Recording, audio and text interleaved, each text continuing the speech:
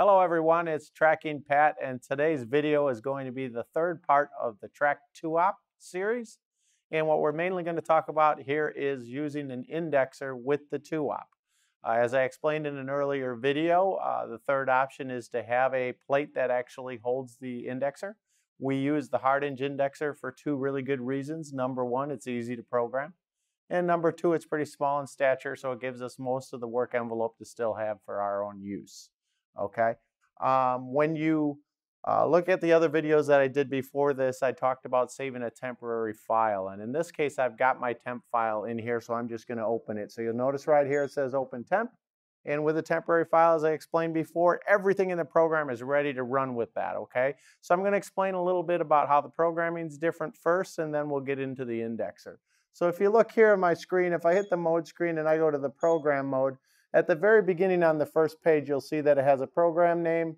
It tells me my dimensions from the home position to the to part zero. And then it also says under here where it says indexer prompt, it says yes. So what that's telling is, yes, I do want to use an indexer in this case. And if I push go to begin right here, you're going to see that my first milling event has all my information in here. So this thing, just like I showed you in the other videos, works like so. At the end of each event, there's a place down at the bottom that says indexer begin and indexer end. So if I put a 3 in either one of those, I'm saying send a pulse to the indexer. So I can have it happen at the beginning of an event or beginning of a series of events. I can also have it at the end of an event or an end of a series of events. In my case, if I go all the way to the fifth event, which is a repeat here, you'll notice that in here, it tells me to uh, automatically send that note and rotate. So what it's going to do is it's going to mill a little bit, it's going to rotate, and I'm cutting six sides on a round part. Then I'm going to change tools. I'm going to come in and I'm going to drill on every other flat and then come back, drill through, and tap. Okay? So now that you have a little idea how this works, I'm going to show you how the indexer works. So first of all, I'm going to introduce my assistant here. His name is also Patrick, and he is going to show us that over on the Hardinge control, the first thing he would do is just turn it on. Once it boots up, the screen will come to a welcome screen, and it's going to ask to uh, get started. You would just push the green cycle start button.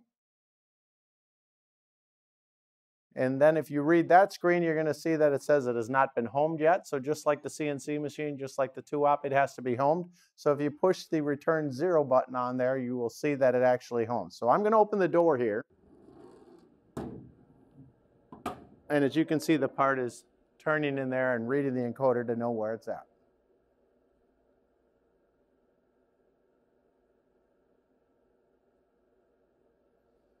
So once we get to this point, you'll notice in there that it's ready, it's on event one, and in here all I've got to do is hit the mode key and go to the run mode and push start.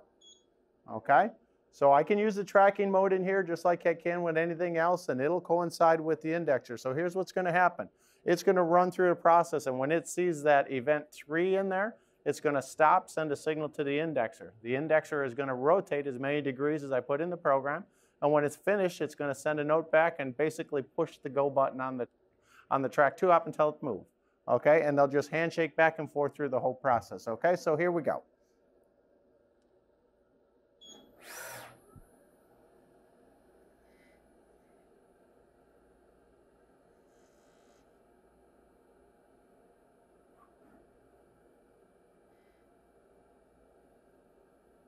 So you can see there's a slight pause in between each section where it has to index.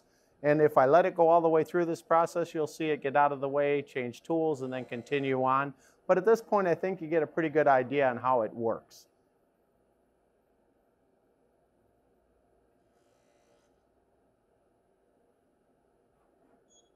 So I'm just going to push stop right there and explain a little bit more. So think about this process as I explained before about the fact that this machine is portable, right?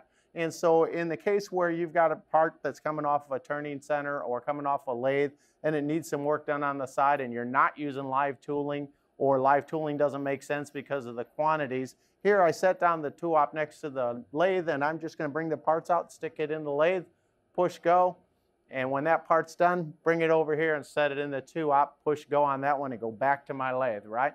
So let's say that the part that's coming out of the lathe is taking 20 minutes and this part's gonna take another five.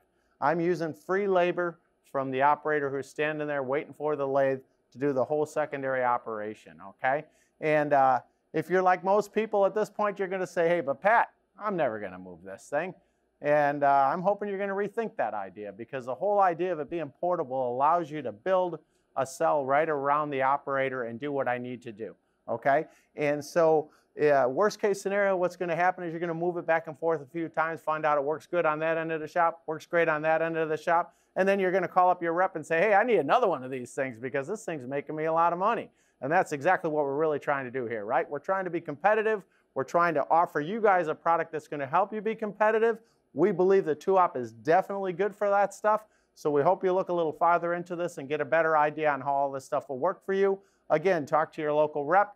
Look us up on Facebook, YouTube, Instagram, and uh, don't forget trakmt.com. Again, I'm TRAKing Pat, and remember to keep on TRAKing.